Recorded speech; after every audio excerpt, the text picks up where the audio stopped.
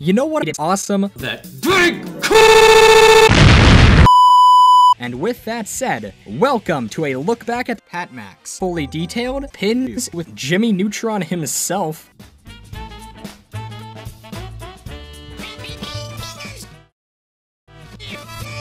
This set, though a bit obscure, has become very meme and are pretty hard nowadays. And with that said, let's get started.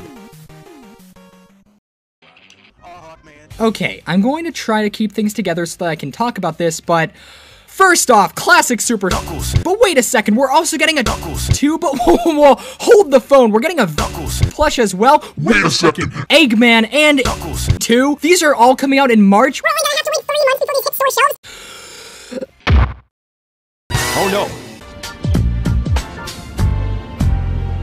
I'd like to welcome you to the memorial for Hatmax. Saying a few words on behalf of the departed will be Fellow collector LSuperSonicQ. What can you say about Hat Max. he was Fully detailed and fully articulated. and until Hat Max. Fully detailed pins. this comes to light, will definitely remain a mystery. Noah. Can I just say, Big is a pretty thick boy, all things considered. How can you get one of these nowadays? I don't know. But again, who cares? The Jimmy Neutron ice cream bar. Let me tell you, I would pay good money to eat it because it'd be disgusting, but it sure would be fantastic. And that's where this comes in.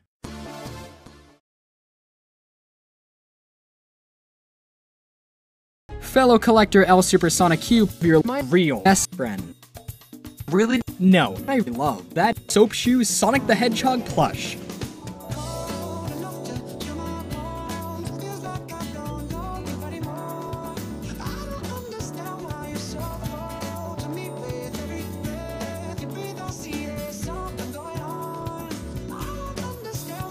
Whoa, whoa.